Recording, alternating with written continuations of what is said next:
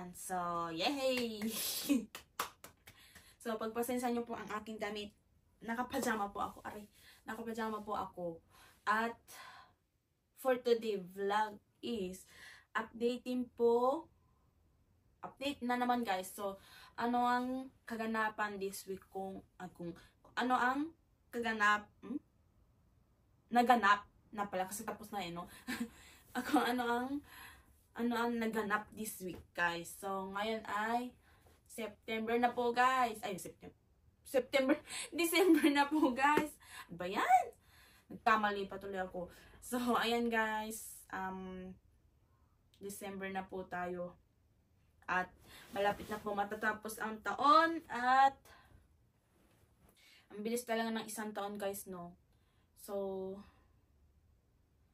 pagdating ng December, yun nga, pag, pagdating ng Christmas, guys, malapit na mag-New Year. Hay nako, ang bilis talaga ng isang taon, guys. So, ayan. Ayun, guys. So, ang i-update ko is, kailan ba ako umalis? Nung Tuesday, eh, Tuesday, Tuesday ba yun? Kung napanood niyo po yung vlog ko last last vlog ko guys, nag uh, nagkwento po ako na alis po ako umatin po ng birthday ng inaanak ko guys. The next day naman, yung mga ano, yung mga anak ng kaibigan namin ni Jowa guys, natulog po dito at umalis po kami nila, mommy at daddy, tsaka yung mga bata. Pumunta po kami sa Omocha o Cook. So, um, basta meron po kami pinuntahan guys at sa ano po hindi po dito sa hindi lang po hindi po dito sa malapit lang umal, uh, mga isang oras mahigit ata yung biyahe namin guys. Si daddy po nag-drive. Thank you po daddy sa pag-drive na. Yun. Ah bali umalis po yun nga umalis po kami naglaro-laro sila. Um yun. Da, tapos, di ba natulog sila nung araw na yun, guys. Linggo yun, guys. Tapos, lunes, nag, uh, nandito si Jowa, guys. Kasi, nung linggo umalis kami, guys, wala si Jowa kasi may pasok siya, guys. Eh, lunes, walang pasok si Jowa. Pumunta po kami, kami, kami ni Jowa, tapos yung mga bata. Pumunta po kami sa park, guys, guys. Dun sa, malapit dito sa amin lang. Tapos, ano bang ginawa namin? Ayun nga, pumunta po kami sa park. Tapos, umuwi po kami dito guys. At kumain lang po ng tanghalian. Ah, umalis po kami guys. Ah, di ba pumunta po kami sa park. Tapos, merong akong gustong kainin guys. Kaya, ah, pumunta po kami sa supermarket. Tapos, bumili po ng tanghalian namin guys. Tapos, kumain, di ba, umuwi kami. Tapos, kumain kami ng tanghali. Tapos, nag-toothbrush natulog kami ulit. Tanghali, natulog kami guys. Tapos, paggising na, eh, ano oras na yung mga 12 na ata kami natulog guys. Maaga kami nag-lunch. Ay, hindi! 12 pala kami nag-lunch guys. Mga 1 ata kami na natulog. Yun. Tapos, ang, uh, dito paggising namin, alas 4 na ata guys. 4 na po kami nagising at pinaliguan ko po yung mga bata. And then,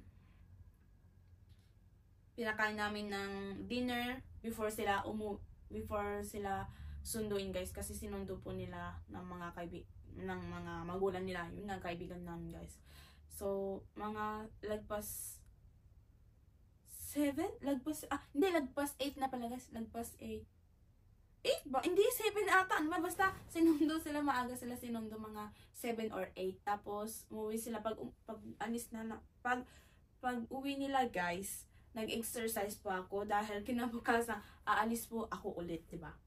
so Tuesday naman 'yan, guys. The next day um umalis po ako, pumunta po kami ng uh, mga kasamahan ko so kasamahan ko po sa work, guys. Pumunta po kami sa Kobe. Um para siyang ah, para siya ano yung pinuntahan namin nakalimutan ko um ano ba yun? para siyang ano, madaming isda-isda ba? Kumbaga para siyang zoo. Zoo, zoo ba tawag? Ah, hindi. Aquar aquarium. Ano ba tawag dun, guys? Hindi ko ma may explain na maayos. Basta yun, umalis po kami ng mga kasamahan ko sa work, guys. Pumunta po kami dun sa, yun nga yung mga madada, madaming isda-isda. Yun, basta aquarium. Basta yun, guys. Tapos, ah, ganito na lang guys, para, para makita nyo din. Kasi madami din naman ako na video, ay na, na video, na picturean. Tapos, may, meron din akong binidyo na maganda, sobrang ganda guys. Nagustuhan ko yung pinuntahan namin guys. As in, ganda talaga. So, ipapa-slideshow ko na lang after ng kwento ko guys. So, yun nga, um, basta maganda talaga guys tap ano pa, para siyang sa loob ng ano yun ha sa loob ng building madaming isda-isda tapos para siyang illumination ba guys mga lightings basta yun ang ganda talaga guys tapos after nun eh maaga kasi ako dapat umu ante dito kailangan ko umuwi ng maaga kasi that that day kasi um magpapa-check up po ako sana sa paa kasi ang sakit ng paa ko yung, father finger ko sa paa guys. Namamagana, para siyang merong ano dito, but, hindi naman butas. Ano ba tawag Sinabi nung, sin, ano, ano kasi, sinabi ko kay mami kung ano yun, pinakita ko kasi kay mami, sabi, ihi daw ng palaka. Eh, hindi naman ako naglalakad na papapaalang. Nung nakatsinelas ako, pero sa Pilipinas daw, naihian daw ng palaka. Ba yun? Kaya meron, meron siyang parang ano, butas na medyo, basta yun guys. Sobrang sakit kasi guys, kaya ano, pina-check up ko. Ngayon, sinunog po guys. Ngayon, bumabalik na po yung balat ko. Pero ano, every week ko po kailangan isunog daw guys kasi kasi nakakahawa daw yung ano ko, yung sugat na yun. Kaya yun nagpa-check up din naman ako after ng gala-gala. Eh ano lang din naman mga 3 hours kasi umalis ako mga mga kasi nagkita kami 9 tapos nag-train lang kami guys kasi pag sasakyan ako lang din yung magde-drive naaway yung ibang kasamahan ko kasi hindi nila kayang i-drive yung sasakyan ko guys. Ewan ko ba kung bakit. Pero meron silang li- driving license. So yun. Ganun ngayon naganap sa Tuesday tapos ngayon Thursday na guys.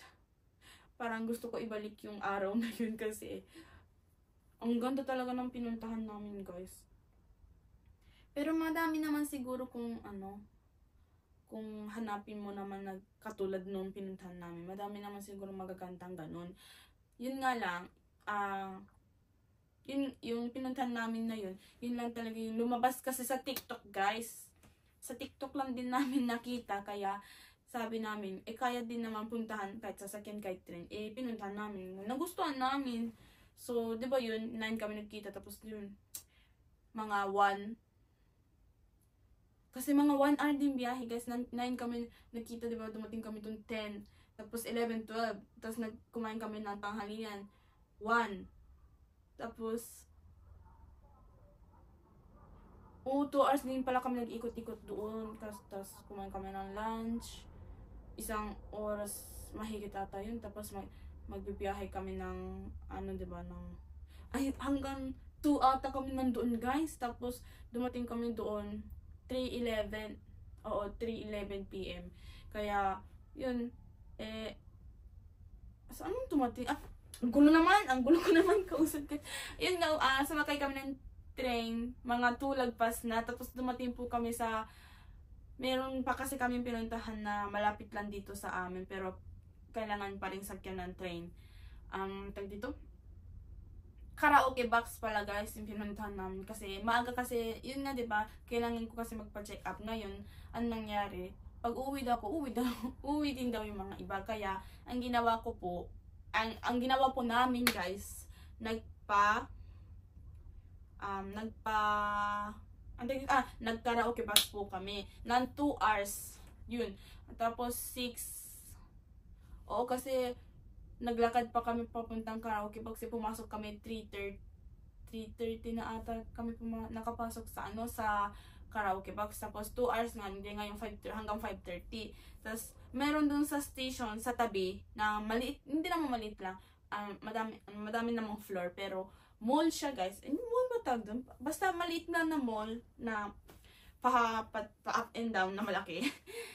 yun, dun kami nag-ikot-ikot ng 30 minutes. Tapos 6 lagpas, sumakay po ako ng train pa uwi. Kasi sila doon lang din naman yung bahay nila eh. Ako kasi, pinark ko yung bike ko dito lang sa malapit na station. Ngayon, kailan ko sa isang station lang naman yung ano agwat eh. Pero kailangan ko pa rin i-sakyan ng train kasi nga nandito nga yung bike ko dyan sa malapit sa amin. Kaya yun at si Jowa din ganon din nag magpapa-check up daw siya. Si Jowa naman dito sa may mata.